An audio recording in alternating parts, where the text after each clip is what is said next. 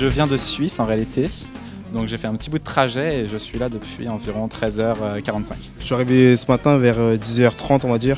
J'attendais tranquillement, je me disais, oh, il n'y a personne, donc je vais boire un café tranquille. Et après, euh, j'ai vu la queue, donc euh, je me suis inséré tranquille dans la queue à 2h15. C'est quoi ton téléphone là actuellement? Un OnePlus One. Bonne question.